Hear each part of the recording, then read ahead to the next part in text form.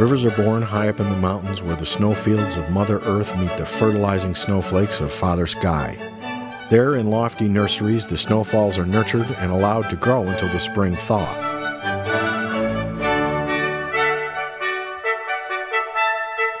The warming rays of sun initiate the birth of melting snow as it is transformed into flowing water.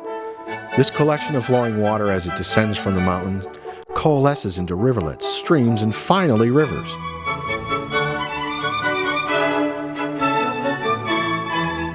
As these rivers come forth from on high, their character evolves from youthful exuberance to the purposeful, studied path of middle age, and finally onto the meanderings of old age.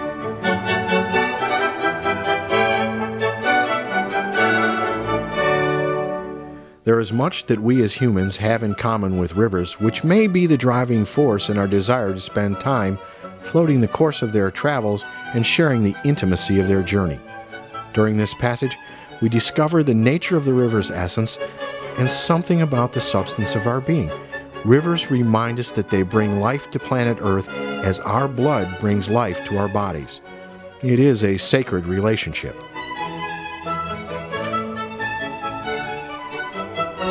Our pursuit of this kinship brings us to the Middle Fork of the Salmon River in Idaho. The Middle Fork is considered by most to be one of the top 10 rivers in America because of its remote beauty and 100 miles of almost continuous Class 2 to 3 rapids, separated by a number of invigorating Class 4 rapids. The trip begins below Dagger Falls at the Boundary Creek Campground, where the chosen congregate prior to the beginning of their whitewater pilgrimage. All present share in the spirit of enchantment to be discovered in the day's travels to come. The first trial of devotion is the descent of a huge wooden boat ramp to the launch. Those who dare ride their boats are christened by the first splash of pristine mountain water. All the boats are moored in a small cove, anticipating an early departure on the preceding day. The Middle Fork at the Boundary Creek put in is more creek than river. Early in the season, it is a narrow torrent of spring runoff, and later in the season, an impassable rocky route requiring launch further downstream at Indian Creek. The river here is shallow and rocky, demanding constant attention and maneuvering to avoid the abundant rocks.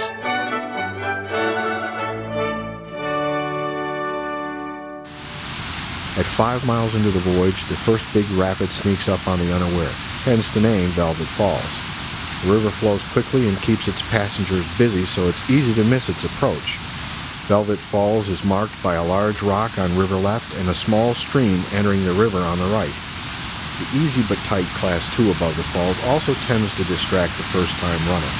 Just below the large rock of the falls, with the only sure line behind the rock close to the left bank. The drop forms a nasty reversal stretching across the river from below the right edge of the large rock to the other shore. The classic line to run would start on river right with a back ferry to river left timed to hit the eddy behind the rock and then down the chute behind the rock. However, most folks just run as close to the rock as possible and then let the strong eddy pull them into position for the right side of the chute. This tactic actually works better than most deserve because the powerful eddy stalls and pulls river left those who enter it. However negotiated, the reversal is a mighty opponent few dare to challenge, and to the misfortunate who enter its foamy churning depths, a never forgotten lesson in watching machine hydraulics. At 21 miles into the journey arrives Pistol Creek Rapid, one of the more interesting rapids in the west. The rapid begins with a series of large waves upstream, followed by a half mile long rock garden leading to the final drop. The rapid begins as a small cliff on river left joins another small rise on river right. There's a big hole next to the left shore, which once passed brings the river runner to a sharp left turn, emptying into a cliff face. A hard pull river right is required before the bottom to avoid the cliff. A small circulating eddy on river left and carry one through the remainder of the rapid and into the large pool below. This rapid looks harder than it really is. The trick being to go with the flow longer before turning left, positioning one for an easier pull river right at the bottom. Then at mile 58 comes Tappan Falls, which should be scouted. The river swings sharply to the right with a large pool above the falls. The route to follow here is about 10 feet off the right bank, straight into the drop. Landing above the falls on either side allows scouting and an opportunity for river picks of fellow river runners taking the plunge. Avoiding the rocks below adds the icing to this fun splash. Next up at mile 82 is Redside Rapids, considered with its brother Weber Rapids just downstream as two of the top 10 rapids in the West. Just above Redside is a large calm pool. Land on river left to scout this one. There's a large rock on the right of river center. At high flows, it forms a rooster tail, and at moderate flows, a pillow on its left side. Position your boat just to the left of this rock, passing the rooster tail at high flows, or hit the pillow at moderate flows and ride the current past the huge rock downstream on the left of River Center. There's a pool below for all to gather before running Weber Rapids. At the top of Weber Rapids, enter River Center. Bow into the waves, then work left center and enjoy the big waves as you ride up and down through the second of the West's 10 best on this river. Finally, at mile 91, the river delivers you to Rubber Rapids, famous for flipping large rafts at any flow. There's an easy class 2 before the pool above the rapids, then the river turns to the right. After entering the pool, work right of river center just to the left of the reversal along river right. Then follow the tongue into the first big wave and on through a series of waves decreasing in size. This is definitely a place best approach bow first with busting waves in mind. This year there was a new addition to the rapids on this run. A new rapid was created by a landslide blocking the main salmon below the confluence and above the takeout at Cache Bar, but more on that later.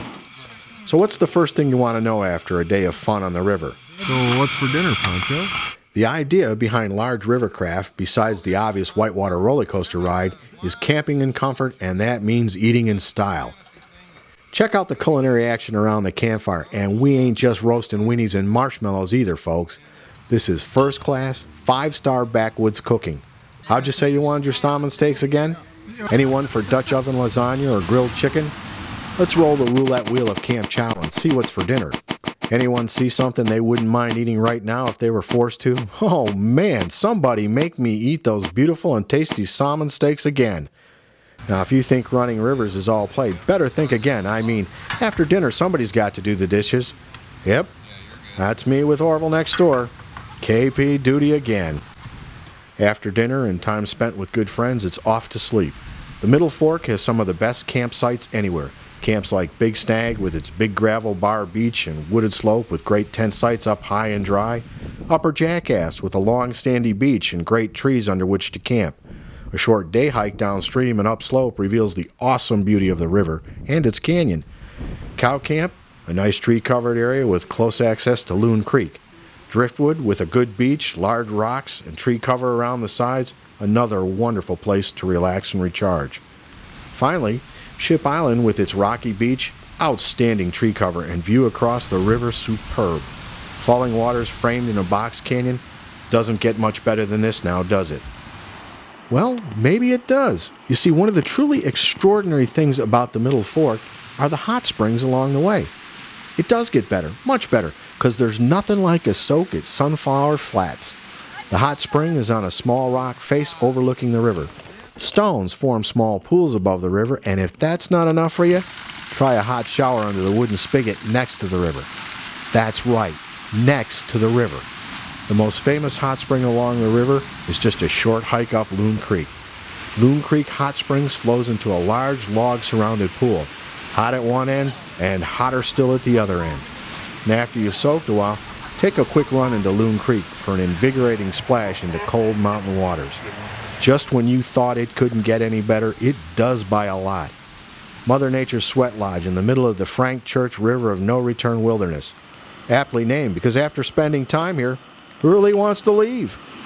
So now that we've talked our way down this whitewater wonder, we live delicious campfire cuisine to the point you can almost taste it, remembered the canyon breeze in the trees, lulling you sleep at night under the stars, and reminisced on hot soaks past, what say we run the river one more time through the magic of digital video?